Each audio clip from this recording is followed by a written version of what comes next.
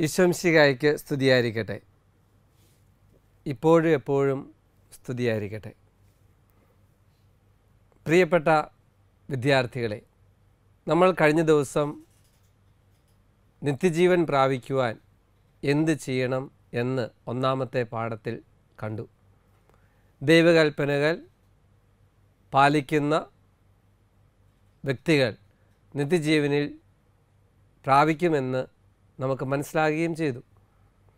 കഴിഞ്ഞ ദിവസം നമ്മൾ പഠിച്ച പാട്ടുകളും ദൈവകൽപ്പനകളെല്ലാം നിങ്ങൾ വീട്ടിൽ മുതിർന്നവരെയും മാതാപിതാക്കളെയും പറഞ്ഞു കേൾപ്പിച്ചു എന്ന് ഞാൻ വിശ്വസിക്കുക. ഒരിക്കൽ ഒരു ഗുരുവും ശിഷ്യനും കൂടി വഴിയിലൂടെ നടന്നു പോകുമ്പോൾ എപ്പോഴും ഗുരുവിനോട് ചോദ്യം ചോദിച്ചുകൊണ്ട് ശല്യപ്പെടുത്തിക്കൊണ്ടിരുന്ന ശിഷ്യൻ പെട്ടെന്ന് നിശബ്ദനായി.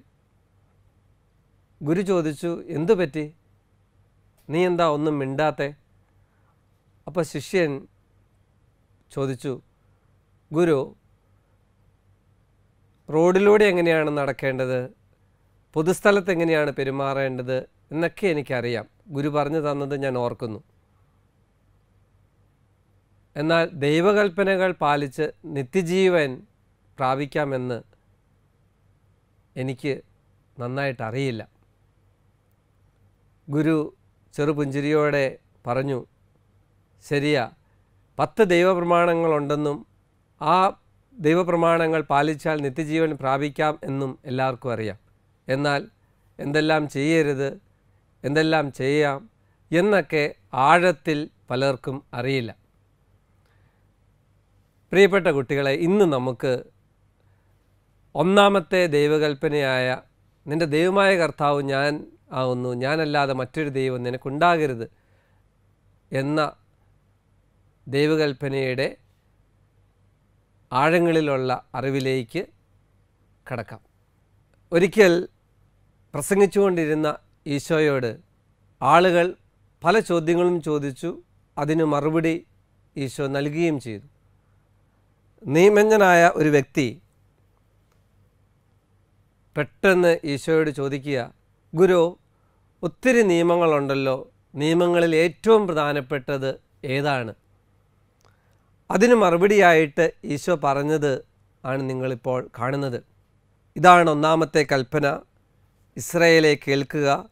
നമ്മുടെ ദൈവമായ കർത്താവാണ് ഏക കർത്താവ്. നീ നിന്റെ ദൈവമായ കർത്താവിനെ പൂർണ ഹൃദയത്തോടും പൂർണ ആത്മാവോടും പൂർണ മനസ്സോടും പൂർണ ശക്തിയോടും കൂടെ സ്നേഹിക്കുക. എല്ലാവരും ബൈബിൾ എടുത്ത് വായിക്കുവാനും ഈ ഭാഗം അടിവരയിട്ട് ഹൃദയത്തിൽ സൂക്ഷിക്കുവാനും ഓർക്കുമല്ലോ. പ്രിയപ്പെട്ട കുട്ടികളെ നമ്മൾ പഠിച്ച പത്ത് കൽപ്പനകളിൽ പ്രഥമവും പ്രധാനപ്പെട്ടതുമായ ദൈവകൽപ്പനയാണ് ഇത്. നിന്റെ ദൈവമായ കർത്താവ് ഞാനാവുന്നു. ഞാനല്ലാതെ മറ്റൊരു ദൈവം നിനക്കുണ്ടാവരുത്. ഈ ഗുരുവും ശിഷ്യന്റെയും കഥ തുടരുകയാണ്. ഈ ശിഷ്യൻ ഗുരുവിനോട് ചോദിച്ചു ഗുരു എന്തുകൊണ്ടാണ് ദൈവത്തെ ആരാധിക്കണമെന്ന് പറയുന്നത് ഈ ശിഷ്യന്റെ നിഷ്കളങ്കമായ ചോദ്യത്തിന് ഗുരു ഇങ്ങനെയാണ് മറുപടി പറഞ്ഞ് ശിഷ്യ എല്ലാം സൃഷ്ടിക്കപ്പെടട്ടെ എന്ന ഒറ്റ വാക്കിൽ ഈ പ്രപഞ്ചത്തിലുള്ള മുഴുവനും സൃഷ്ടിച്ചത് ദൈവമാണ്.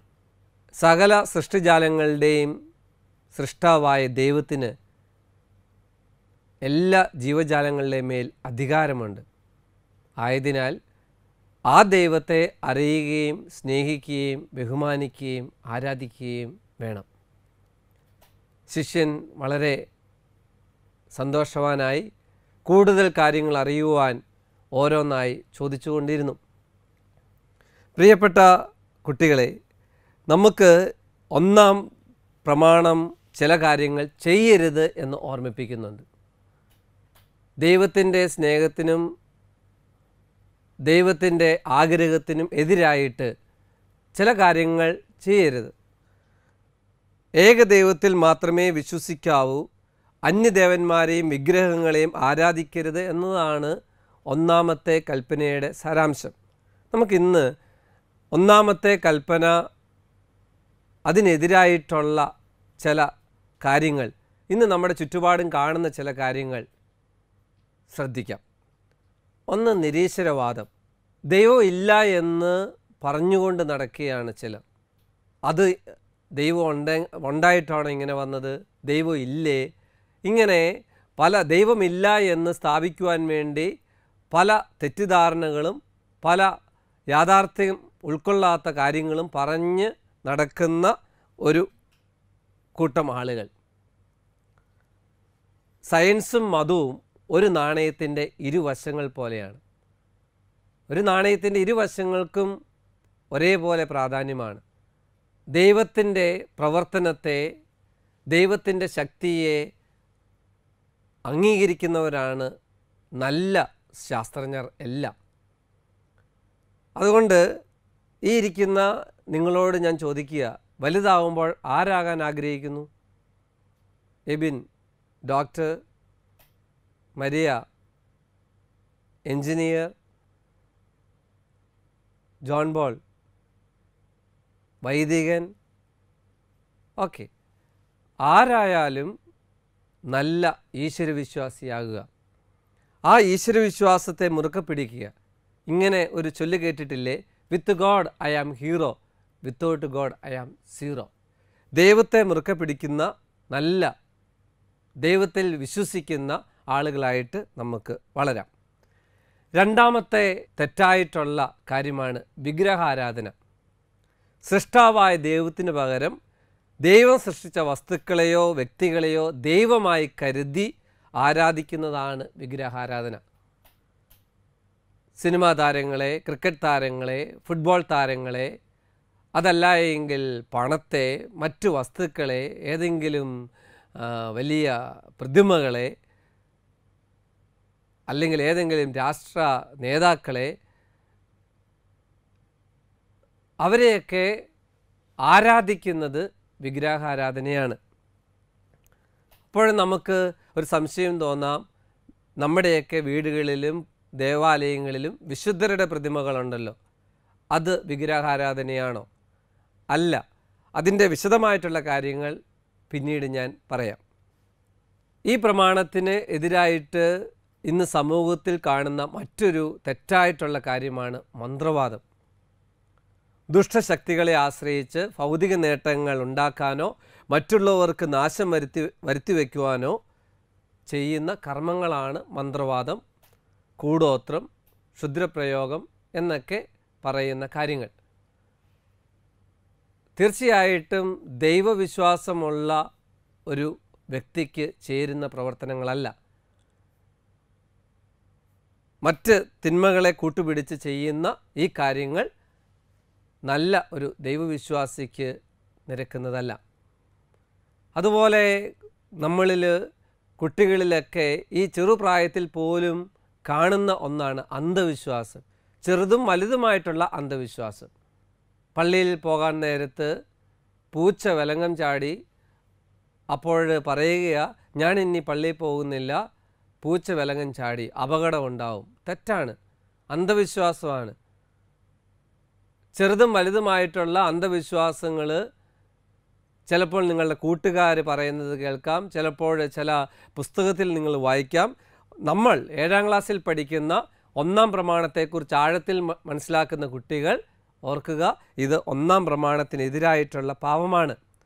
സത്യവിശ്വാസത്തിന് ചേരാത്തതാണ്. മറ്റ് ഒരു തെറ്റായിട്ടുള്ള കാര്യമാണ് ദൈവനിന്ദ. കൂതാശകൾ അയോഗ്യതയോടെ സ്വീകരിക്കുന്നു. ഒരുക്കമില്ലാതെ വിശുദ്ധ കുർബാന. നിങ്ങൾക്കെല്ലാം അറിയാം.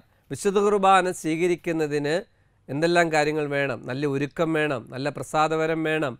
കുർബാന സ്വീകരിക്കുന്നതിന് മുമ്പ് ഒരു മണിക്കൂർ ഉപവസിക്കണം. ഈ യോഗ്യതകളില്ലാതെ വിശുദ്ധ കുർബാന സ്വീകരിക്കുന്നത് ദൈവനിന്ദയാണ് എന്ന് പ്രത്യേകം നിങ്ങൾ ഓർക്കണം. അതുപോലെ തന്നെയാണ് ദൈവത്തിന് വേണ്ടി സമർപ്പിച്ചിരിക്കുന്ന വൈദികരെയും സിസ്റ്റേഴ്സിനെയും സ്ഥലങ്ങളും വിശുദ്ധമായിട്ടുള്ള സ്ഥലങ്ങളൊക്കെ മോശമായിട്ട് ചിത്രീകരിക്കുന്നത് മോശമായിട്ട് പറയുന്നത് വാർത്തകൾ സത്യമാണെന്നറിയാതെ തന്നെ വാട്സപ്പിലും ഫേസ്ബുക്കിലൊക്കെ പോസ്റ്റ് ചെയ്യുന്നത് ഇതെല്ലാം ദൈവനിന്ദ ആണ് എന്ന് പ്രത്യേകം ഓർക്കുക. അതുപോലെ ഒന്നാണ് സാത്താൻ പൂജയും സ്പിരിറ്റിസും ഒക്കെ. ദൈവത്തെയും വിശുദ്ധരെയും വിശുദ്ധ വസ്തുക്കളെയും അവഹേളിച്ചുകൊണ്ട് ദുഷ്പ്രവൃത്തികൾ ചെയ്തുകൊണ്ട് സാത്താനെ ആരാധിക്കുന്നതാണ് സാത്താൻ പൂജ. വളരെ സങ്കടത്തോടെ പറയട്ടെ ഒന്നാം പ്രമാണത്തിന് എതിരായിട്ടുള്ള ഒരു കാര്യമാണ്. നിങ്ങൾ ജാഗ്രതയുണ്ടാവേണ്ട ഒരു കാര്യമാണ് ഇത്. അതുപോലെ തന്നെ മരിച്ചുപോയ ആത്മാക്കളെ മന്ത്രതന്ത്രങ്ങളിലൂടെ വിളിച്ചു വരുത്തി ഇഷ്ടകാര്യങ്ങൾ നേടുവാൻ ശ്രമിക്കുന്നതിന് പറയുന്നതാണ് സ്പിരിറ്റിസം. അതും തെറ്റായിട്ടുള്ള ഒരു കാര്യമാണ്. പ്രിയപ്പെട്ട കുഞ്ഞുങ്ങളെ ഒന്നാം പ്രമാണത്തിന്റെ പ്രാധാന്യത്തെക്കുറിച്ചും അതിന് നമ്മളോട് ചെയ്യരുതെന്ന് പറയുന്ന ചില കാര്യങ്ങളുമാണ് ഞാൻ ഇത്രയും നേരം സംസാരിച്ചത്. എല്ലാവർക്കും കണ്ണടയ്ക്കാം. നമുക്ക് പ്രാർത്ഥിക്കാം. ഞങ്ങളുടെ ദൈവമായ കർത്താവെ അങ്ങേ ഞങ്ങളുടെ കർത്താവും ദൈവവുമായി എല്ലായ്പ്പോഴും ഏറ്റുപറയുവാൻ ഞങ്ങളെ സഹായിക്കണമേ. ഒന്നാം പ്രമാണത്തിന് എതിരായ ഒരു തെറ്റുകളും ഞങ്ങളുടെ ജീവിതത്തിൽ ചെയ്യാതിരിക്കുവാൻ ദൈവമേ ഞങ്ങളെ പ്രത്യേകം അനുഗ്രഹിക്കണേ. ഈശോ മിശിഹായിക്ക് സ്തുതിയായിരിക്കട്ടെ.